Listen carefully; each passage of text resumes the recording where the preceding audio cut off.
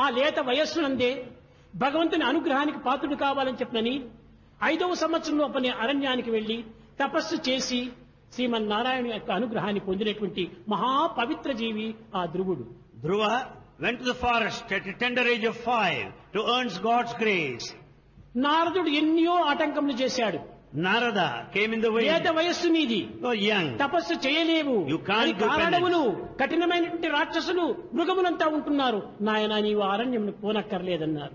It's a thick forest there so many cruel animals you cannot do penance they దేహము సత్యము కాదు. Body is not true దేహం అనిత్యమైనటువంటిది body is temporary అక్కడ ఉండినా ఇక్కడ ఉండినా ఎక్కడికైనా ఒక నాటికి దెన్ కానీ దైవ చింతనలోనే నా దేహాన్ని వదులుతానన్నాడు. Let me die thinking of God అని నమస్కారం చేసి ఉపదేశం చేయమన్నాడు. And then he namaskar in ఓం నమో భగవతే వాసుదేవాయ అని నామ ఒక నామాన్ని బోధించి వెళ్ళిపోమన్నాడు.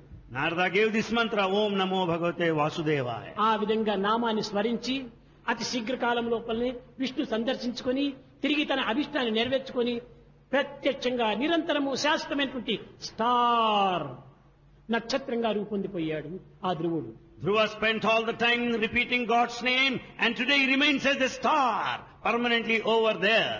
అనగా స్టార్ కావాలంటే సినిమా స్టార్ కాదు నక్షత్రములో తాను శాశ్వతంగా కావాలి. Star does not mean cinema star it is the star నక్షత్ర స్వరూపుడు అయిపోయాడు as taken the form of a star